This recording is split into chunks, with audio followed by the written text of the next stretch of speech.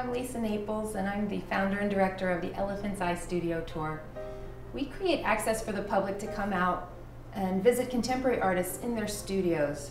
Um, these intimate spaces are typically private spaces, so by doing this, you'll come out on our tour in May, drive from studio to studio, potters, painters, photographers, woodturners, and gain an, an intimate sense of what it is to live and work in Bucks County as a contemporary artist.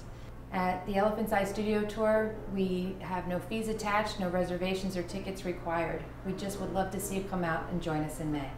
The Elephant's Eye Tour to me is very important because it's all about really connecting the community with local artists. It really gives artists a chance to connect directly with people. The Elephant Eye Tour has been very helpful to me as, as an artist to sort of see myself at a distance a little bit or to see what the working process looks like through uh, through other people's eyes. The public is always very, very interested in seeing artist spaces.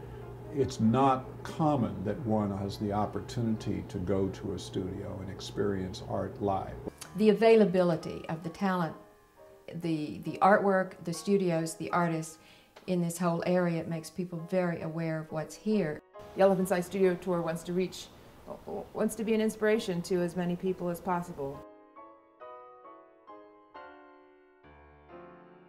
To be an artist, for me, is it's different things on different levels, but essentially it is finding the voice inside of yourself and finding a way to e express it. I've really felt like I was an artist since I was a child. It seemed like a way of having a voice and to close out all the voices outside that say what you should do or what people want you to do or what they're used to you doing. That's a, a really difficult but important part of being an artist. And it's just, it's a way of life. It's a way of seeing the world.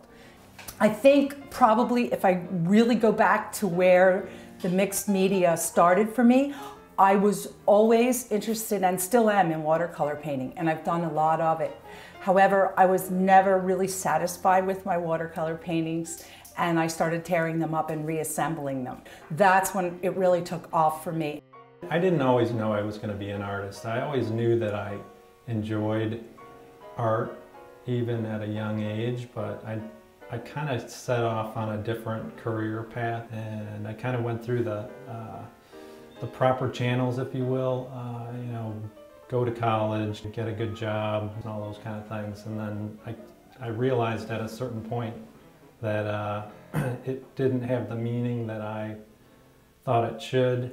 I finally got the guts to become an artist when uh, I was in my mid 40s. Art for me is about those conversations, you know, putting my guts into my work and then telling people what it's about for me and hopefully connecting with them in a way that they can tell me their stories. I tried uh, many things, painting, writing, um, acting, all with the idea that maybe this would be my life's work. I saw a few minutes of a film about Edward Weston and about six months later I found that I was looking at the world as if I had a camera. I discovered all kinds of art history courses in all kinds of mediums. And I began to study them all.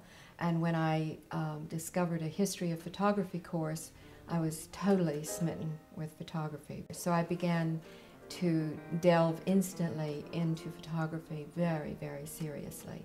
A long time ago, I defined art, and I defined it as expression contained within a form.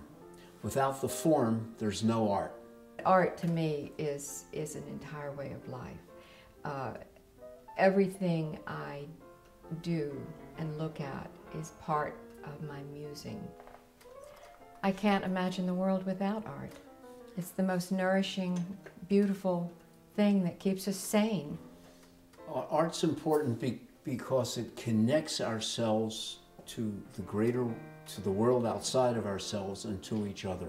Art fundamentally is its, is its own spirituality, its own religion, its own political statement, its own world, if you wish. I think to be within the arts, to be an artist, to be a part of the art community, is an opportunity to experience both the, the images, the elements, and also the philosophy of other thinkers. I don't think any of us are ever really sure when we become artists, but I do know that as a little boy I was a maker. But it wasn't until I had gotten into college, started working in ceramics, that I realized that I had a real flair for form and a great desire to, to create. The beauty of art as a lifestyle is it's inclusively giving back. It's constantly giving back.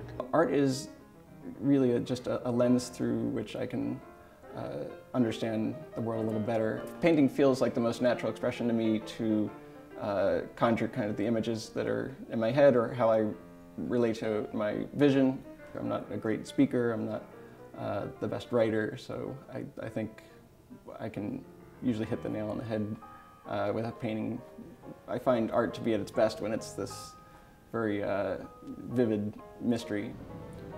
For those of us who make art, it's a life force. It's a, it's a life force that re requires you to let it out. I mean, the people that are on the Elephant's Eye Tour are all contemporary artists who have that need to express themselves. I need to do this.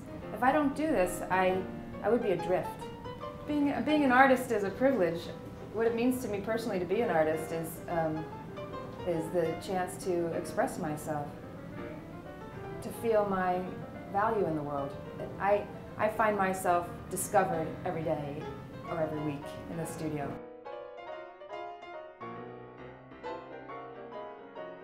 From year one, it's been important to me to have a day that we call the Education Day.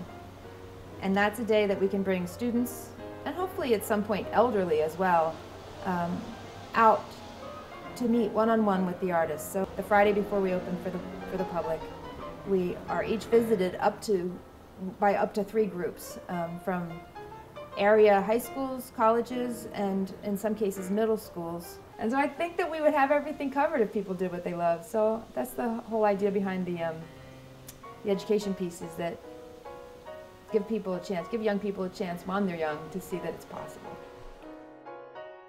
My vision is very clear for the future. I see this becoming an event that um, is visited upon by uh, thousands of people eventually, um, coming from all over the country.